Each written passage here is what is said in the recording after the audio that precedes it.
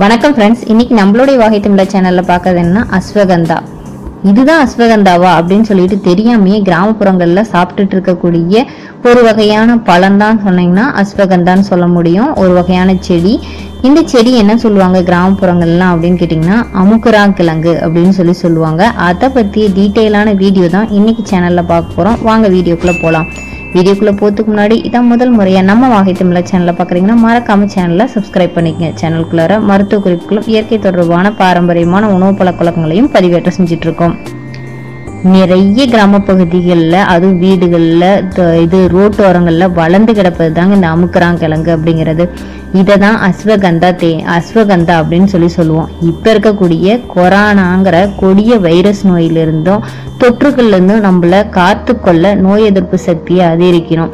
இந்த நோய் எதிர்ப்பு சக்தியை அதிகரிக்கக்கூடிய இயற்கையான நிறைய நோய் எதிர்ப்பு செடிகள் அதுக்கப்புறம் பழங்கள் வேர்கள் நிறைய நம்ம சித்தாவில் இருக்குது அதில் ஒன்று தான் இந்த அஸ்வகந்தான்னு சொல்லக்கூடிய அதாவது பேச்சு வழக்குல அமுக்கலாம் அமுக்கலாம் பழம் அப்படின்னு சொல்லி சொல்லுவாங்க.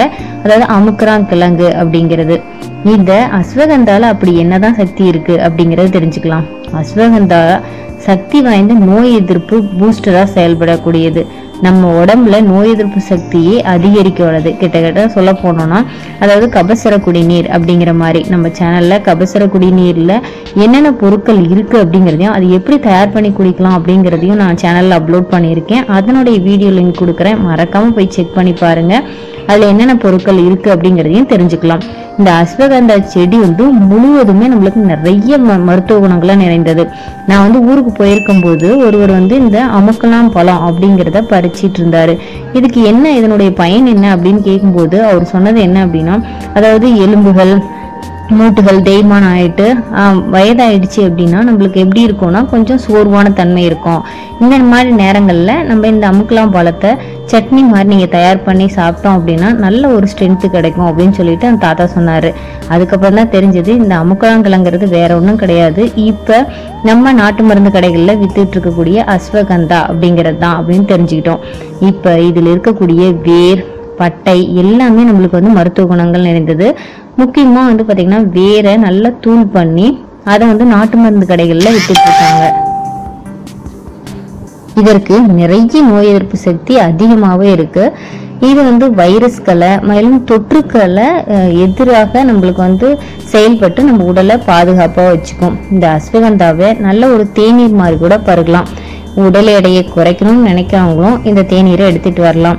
நீங்கள் இது தே- இது எங்கே இருக்குது அப்படின்னு தெரிஞ்சுக்கணுன்னா மறக்காமல் நம்ம அருகில் இருக்கக்கூடிய கிராமப்புறங்களுக்கு போகையில பாட்டி தாத்தாவை கேட்டீங்க அப்படின்னா இந்த மாதிரி தான் இந்த செடி இருக்கும். நீங்கள் இப்போ வீடியோவில் பார்த்துட்டு இருக்க மாதிரி அதன் உள்ளே இருக்கக்கூடிய பழம் அப்படின்னு பார்த்தீங்கன்னா ரெட் கலரில் இருக்கும். அந்த பழத்தை வச்சுட்டு சட்னியை நீங்கள் தயார் பண்ணி குடிக்கலாம். ஒருவேளை நீங்கள் ரியலாக அந்த செடி கிடச்சிது அப்படின்னா அந்த வேர் பகுதியை நீங்கள் போட்டு கொதிக்க வச்சு குடிக்கலாம். அப்படி கிடைக்கல அப்படின்னா நாட்டு மருந்து கடைகள்ல அஸ்வகந்தா அப்படின்னு சொல்லி பெயரில் இருக்கும். அந்த நீங்கள் லேகியமாகவோ இல்லை வந்து பார்த்தீங்கன்னா அந்த வேர் பட்டையினுடைய தூளோ வாங்கிட்டு வந்து நீங்கள் உணவில் சேர்த்துட்டு வரலாம். இது வந்து ரத்தத்தில் இருக்கக்கூடிய சர்க்கரையின் அளவை வந்து கட்டுப்படுத்தும். நம்மளுக்கு மன அழுத்தத்தை வந்து குறைக்கவும் செய்யும் சொல்கிறாங்க ரத்த சோகை பிரச்சனை இருக்கிறவங்க இந்த அஸ்வகந்தா தேநீரை அடிக்கடி எடுத்துகிட்டு வரலாம்.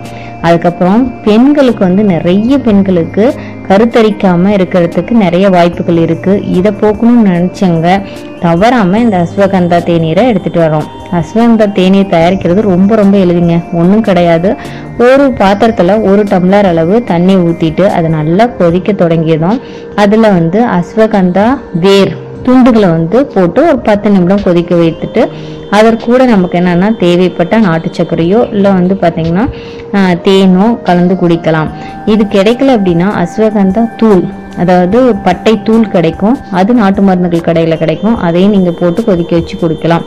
இது கூடயே நீங்கள் எலுமிச்சம்பழத்தையும் நீங்கள் சேர்த்துக்கலாம். எலுமிச்சம்பழம் சாறு சேர்க்கறது மூலமாக விட்டமின் சி சத்து நம்மளுக்கு நேரடியாக உணவில் கிடைக்கும். மேலும் வந்து பார்த்திங்கன்னா ஆன்டி ஆக்சிடென்ட்டும் பா பாக்டீரியாவை எதிர்க்கும் தன்மையும் நம்ம உடம்புல த இது உருவாக ஆரம்பிக்கும். தேனில் இருக்கக்கூடிய ஆன்டி ஆக்சிடென்ட் பாக்டீரியா எதிர்ப்பு சந்தையும் வந்து பார்த்திங்கன்னா நம்ம உடலுக்கு நிறைய நோய் எதிர்ப்பு சக்தியை உருவாக்கி கொடுக்கும். கண்டிப்பாக ஃப்ரெண்ட்ஸ் இப்போ இதுதான் அஸ்வகந்தாவா அப்படின்னு சொல்லிட்டு கண்டிப்பாக நீங்கள் தெரிஞ்சிருப்பீங்கன்னு நினைக்கிறேன். மறக்காமல் நீங்கள் கிராமப்புறங்களுக்கு போகும்போது அஸ்வகந்தா அப்படின்னு சொல்லி கேட்டால் கண்டிப்பாக யாருக்குமே தெரியாது. அமக்கலாம் பழம் அப்படின்னு சொல்லி கேட்டு பாருங்கள் பாட்டிகிட்ட கேட்டிங்க அப்படின்னா கண்டிப்பாக அவங்க சொல்லுவாங்க. அது அந்த மாதிரி ஏதாவது பழங்கள் கிடைத்ததுன்னா உங்கள் வீட்டில் எடுத்துகிட்டு வந்து தோட்டத்தில் பதிச்சு வச்சிங்கன்னா அது உடனே வளர ஆரம்பிச்சிடும் ரோட்டோரங்களில் வளரக்கூடிய செடி தான் அவ்வளோ நோய் எதிர்ப்பு சக்தி மேலும் எலும்புகளுக்கு நிறைய வலுக்களை கொடுக்கக்கூடியதும் தன்மை கொண்டது. கண்டிப்பாக இந்த செடியை பார்த்தா மறக்காமல் நீங்கள் பயன்படுத்துங்க. இதுதான் அஸ்வகந்தா அப்படின்னு சொல்லி தெரியும். ஒருவேளை இந்த செடி கிடைக்கல அப்படின்னா நீங்கள் நாட்டு மருந்து கடைகளில் இந்த பவுடரை வாங்கிட்டு வந்து நீங்கள் வாரத்தில் ஒரு முறை இருமுறை நீங்கள் கொதிக்க வச்சு குடிச்சிட்டு வரலாம். கண்டிப்பாக ஃப்ரெண்ட்ஸ் இது ஒரு பயனுள்ள தகவலாக இருக்குன்னு நினைக்கிறேன். இந்த மாதிரி பயனுள்ள தகவலை மருத்துவ குறிப்புகளை தெரிஞ்சுக்கணும்னு நினச்சிங்கன்னா மறக்காமல் நம்ம வாகி தமிழா சேனலை சப்ஸ்கிரைப் பண்ணி வச்சுக்கோங்க.